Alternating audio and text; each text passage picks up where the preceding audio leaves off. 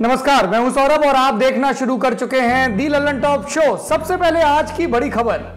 पहली बड़ी खबर आई है, पड़ोसी के घर से सवाल सरकार का है। श्रीलंका की सुप्रीम कोर्ट, वहाँ के राष्ट्रपति श्रीसेना के संसद भंग करने के फैसले को असंवैधानिक बता रही है। दूसरी खबर, केरल में सबरीमाला विवाद फिर आग पकड़ता नज़र आ रहा है। बीजेपी वाले सबरीमाला में महिलाओं की एंट्री को लेकर प्रोटेस्ट कर रहे हैं। कल रात इसी प्रोटेस्ट में एक आदमी ने खुद को आग लगा ली और आज उसकी मौत की खबर आ गई। तीसरी खबर, परेशानी में बीजेपी के एक और मुख्यमंत्री हैं, महाराष्ट्र के मुख्यमंत्री देवेंद्र फडणवीस, जिनको सुप्रीम कोर्ट ने नोटिस भेजा है। आरोप लगा है कि अपने हलफनामे में फडणवीस ने खुद पर चल रहे आपराधिक मामलों का खुलासा नहीं किया था। कोर्ट ने उनसे जवाब मांगा है।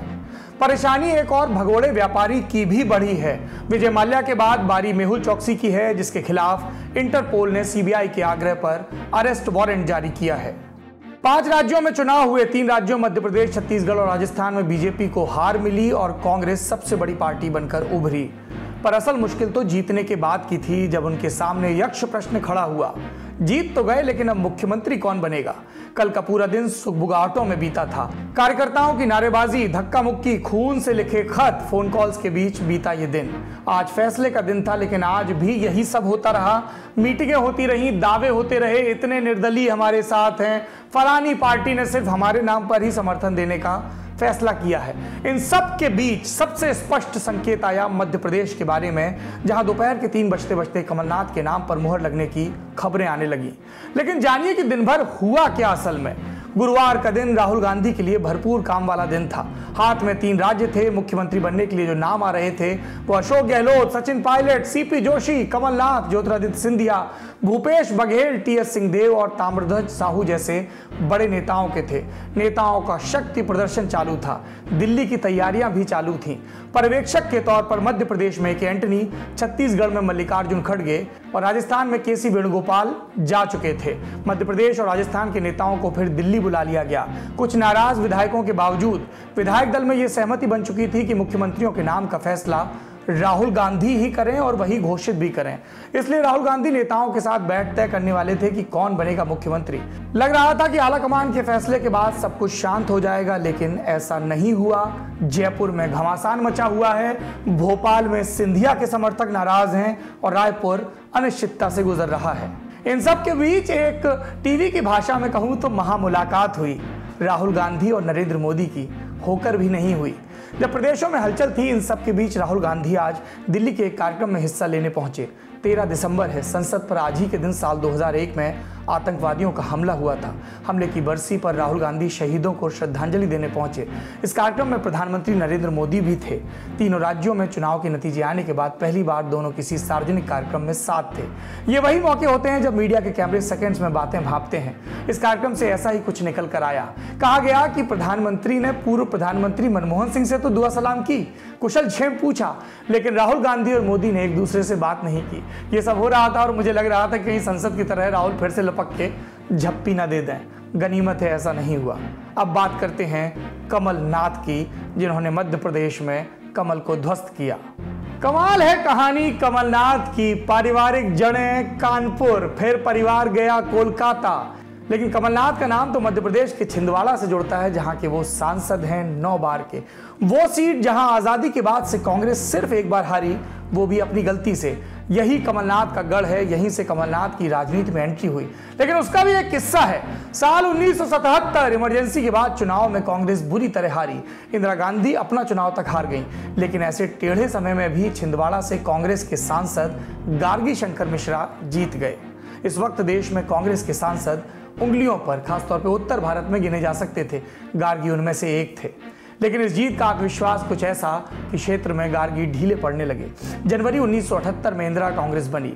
नया काडर चुना गया। नए लोग आए। यूथ बढ़े। नई कांग्रेस में संजय गांधी के लोगों का महत्व बढ़ा। ऐसे ही लोगों में कमलनाथ भी थे। संजय गांधी के करीबी। इंदिरा कांग्रेस बनी तो छिंदवाड़ा में अध्यक्ष बने शंकर राव दाढ़े। ये कमलनाथ के पाले के थे। 1980 में कमलनाथ टिकट पाने की महत्वाकांक्षा पोस रहे थे। जब मुरारजी की सरकार ने इंदिरा गांधी को अरेस्ट किया, तब जेलें भरी गई थी। इस जेल भराव में गार्गी नहीं आए। आए तो अंतिम दिन पहुँचे। कमलनाथ के पाले को बहाना मिल गया। गार्गी शंकर मिश्रा की शिकायत हुई, लेकिन इंदिरा ने शिकायत करने वालों को लौटा दिया।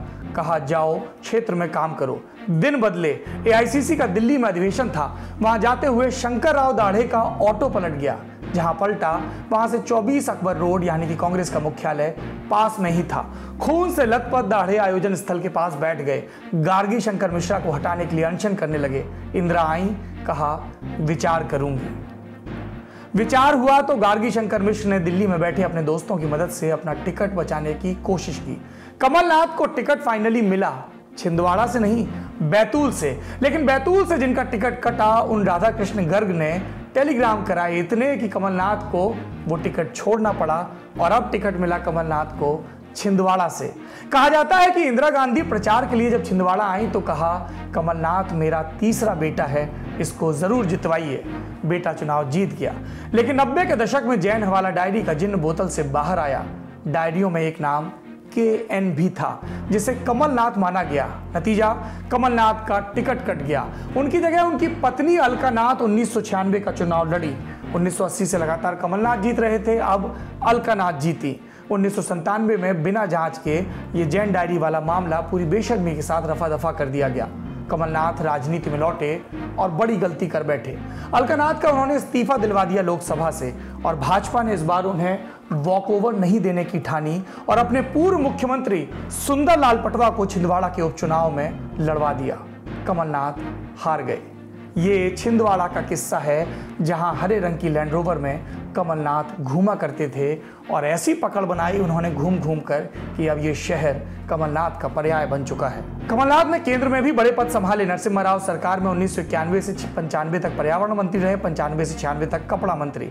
2004 में जब यूपीए प्रथम की सरकार बनी तो वो वाणिज्य मंत्री बने। 2009 में सड़क परिवहन और राजमार्ग मंत्री बने और इन चुनावों में कांग्रेस को जिताकर मुख्यमंत्री बनने की ओर अग्रसर हैं।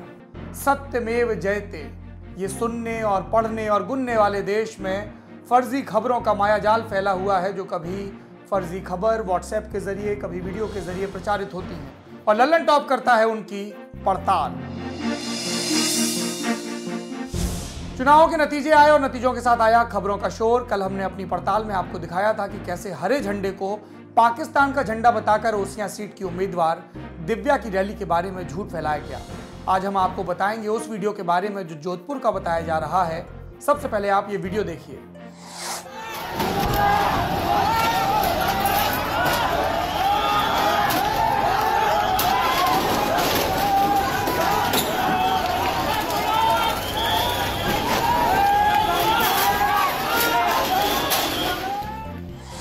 इस वीडियो में कुछ लोग हैं, बहुत सारा शोर है, लोग तोड़फोड़ कर रहे हैं गाड़ियों में। वीडियो के साथ लिखा है जोधपुर में कांग्रेस के आने पर रामराज शेयर करने वाला पेज भी साफ़ तौर पर भाजपा की तरफदारी करने वाला पेज नज़र आता है। इसलिए ये पूरी तरह से कांग्रेस बनाम भाजपा की कवायद दिखाई दे रही है।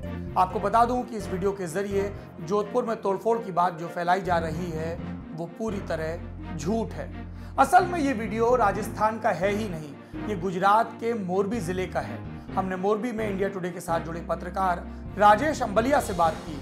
उन्होंने बताया कि 8 दिसंबर 2018 के दिन मोरबी के कालिका प्लांट इलाके में फायरिंग हुई। फायरिंग की वजह आपसी रंजिश थी। 25 राउंड की फायरिंग में विशाल भावड़िया नाम के 14 साल के बच्चे की मौत हो गई। बच्चे के परिवारजन गुस्से में आकर शव को दरवाज़ा चौराहे होते हुए सिटी पुलिस स्टेशन ले गए। वहाँ प्रदर्शन करते हुए भीड़ उग्र हो गई और आसपास तोड़फोड़ करने लगी। पुलिस ने लाठियाँ भांजकर भीड़ को तितर बितर किया। ये वीडियो उसी घटना का है। तो मालूम यह पड़ा कि कांग्रेस के राज्य में आते ही वहाँ कोई तोड़फोड़ नहीं हुई, बल्कि ये सब कुछ तो वहाँ हुआ है, जहाँ भाजपा की सरकार है। और बात जब जोधपुर की हो ही रही है तो आप सभी को बता दूँ कि कभी वहाँ जाएँ तो मिर्ची वड़े खाएँ, समोसा खाएँ और रबड़ी के लड्डू ज़रूर खाएँ, थोड़े मेरे लिए भी ले आएँ। इतने स्वादिष्ट होते हैं कि आप फेक न्यूज़ शेयर ही नहीं कर पाएँगे, क्योंकि आप इन लड्डुओं को खाने में ही व्यस्त रहेंगे और मिठास को महसूस करेंगे। अगर आपके पास भी कोई खबर ऑडियो या वीडियो आता है जिसकी सत्यता पर आपको संदेह है तो पड़ताल के लिए हमें भेजिए Lallantop mail at Gmail dot com पर। चलिए, पड़ताल हो गई। अब बारी खेल की। अब बारी हमारे क्रिकेट से जुड़े किस्से की। कल जब आप सुबह जागेंगे तो शायद उठते ही टीवी खोलेंगे और जानने की कोशिश करेंगे कि स्कोर क्या है। इंडिया और ऑस्ट्रेलिया के बीच दूसरा टेस्ट मैच शुरू हो रहा है। ये मैच खेला जाएगा पर्थ में। पर्थ यानी पेस और उछाल का पर्याय, यानी तेज गेंदबाजों के लिए स्वर्ग। दुनिया के सबसे तेज विकटों में से एक, क्रैक्स और बाउंस का खतरनाक मिक्सचर पर्थ को ऑस्ट्रेलिया के टूर का सबसे कठिन पड़ाव माना जाता है। कल से आने वाले पाँच दिनों में विराट कोहली की टीम इंडिया, जो कि एक नया स्वरूप दिखाई पड़ रही है, क्या गुल खिलाएगी हम सब देखेंगे। लेकिन अभी हम बात करेंगे उस मौके की, जो हम देख चुके हैं। वो कारनामा जो पर्थ शब्द सुनते ही मेरी आँखों के सामने तैर जाता है। सचिन तेंदुलकर के शानदार 114 रन। इनफैक्ट 18 साल के सचिन तेंदुलकर के शानदार 114 रन। साल उन्नीस सौ इक्यानबे नवंबर के महीने में इंडियन टीम ऑस्ट्रेलिया पहुँची थी। ट्रायंगुलर वनडे सीरीज़ के बाद बारी थी इंडिया और ऑस्ट्रेलिया के बीच टेस्ट सीरीज़ की। ये वही टेस्ट सीरीज़ थी जिसमें विक्टोरिया के एक सफ़ेद बालों वाले स्पिनर ने अपना पहला मैच खेला और सालों बाद महान शेन वॉर्न के नाम के साथ क्रिकेट को अलविदा बोला उसने। चार मैचों में इंडिया तीन ज़ीरो से पीछे चल रही थी। पांचवा और आखिरी मैच पर्थ में होना था। ऑस्ट्रेलिया की टीम में Merv Hughes, Craig McDermott Paul Reiffel जैसे कारीगर गेंदबाज थे। शेन वॉर्न को उस समय मैच में नहीं शामिल किया गया था, यानी कि फाइनल इलेवन में वो नहीं थे। क्यों? क्योंकि पर्थ की पिच पर स्पिनर्स के लिए कुछ खास ना तो तब होता था और ना अब होता है। उस मैच के बारे में याद करते हुए सचिन ने विजडन से बात करते हुए बताया था कि वो अपने अगले हर मैच के लिए काफ़ी पम्पडअप रहते थे। उनमें बहुत ऊर्जा थी और अक्सर उन्हें खुद को रिलैक्स करना पड़ता था। असल में ये वो दौर था जब सचिन नए नवेले थे और उनसे कहीं सीनियर खिलाड़ी टीम में मौजूद थे। इसलिए उनके कंधों पर उतनी जिम्मेदारियाँ नहीं थीं जितनी आने वाले सालों में उन पर लाद दी गई थी। ऑस्ट्रेलिया के खिलाफ सिडनी टेस्ट मैच में वो एक शतक पहले ही मार चुके थे। वो उनके करियर का दूसरा शतक था, लेकिन सिडनी और पर्थ में उतना ही अंतर था जितना सहवाग और द्रवण की बल्लेबाजी में। सिडनी स्लो विकेट होता है, जहाँ गेंदबाजों को बैट्समैन से भरपूर जवाब मिलते हैं। सिडनी टेस्ट की एक बात भी मशहूर है कि सचिन तेंदुलकर जब अपनी रवानी में थे अपनी इनिंग के दौरान, तब उन्होंने कवर्स में कुछ शानदार शॉट्स लगाए और बेहद करीने से पेस अटैक को विफल किया। उनकी बैटिंग देखकर बहुत ही खड़ूस कहे जाने वाले और ऑस्ट्रेलिया के सबसे खतरनाक बॉलर मर्व ह्यूज ने अपने कप्तान एलन बॉर्डर, यानी एबी से कहा था, ये छोटा बदमाश तुमसे भी ज़्यादा रन बनाएगा ये भी। उस रोज मर्व की जिहवा पर सरस्वती बैठी हुई थी शायद। खैर, पर्थ में सचिन ने एक और शतक जड़ा 114 रन। उस वक्त जब सिद्धू, मांजरेकर, अजहर, श्रीकांत, बल्ले से गेंद छुआने में स्ट्रगल कर रहे थे, सचिन बैकफुट पर जाकर अपने अंगूठों पर खड़े होकर बाउंस से न केवल डील कर रहे थे, बल्कि उन्हें बाउंड्री पार भी पहुँचा रहे थे। सचिन का कद साढ़े पाँच फीट का था। बाउंस का मतलब था कि गेंद उनकी छाती के आसपास आएगी। इसे उन्होंने इस शानदार तरीके से खेला कि स्टैंड्स में लगभग ना के बराबर भीड़ को देख क्रिकेट कमेंट्री के पितामा रिची बेनॉर्ड ने ऑस्ट्रेलिया के दर्शकों को खूब कोसा। उन्होंने कहा कि ऑस्ट्रेलिया के लोगों को मालूम नहीं है कि उन्होंने कितना बड़ा मौका हाथ से जाने दिया है। उन्होंने इस खेल के इतिहास और आने वाले भविष्य की सबसे शानदार इनिंग्स में इस इनिंग को शामिल किया।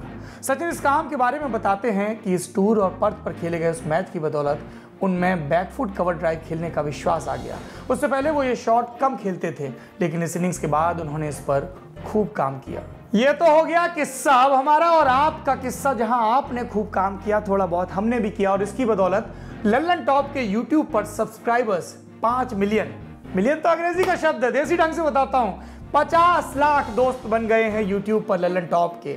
आप भी उनमें से एक होंगे, अगर नहीं है तो फ़ौरन यूट्यूब पर जाइए और दी लल्लन टॉप को सब्सक्राइब करिए। एक और बात, अपना और अपनों का हमेशा ही खूब ख्याल रखिए। शुक्रिया।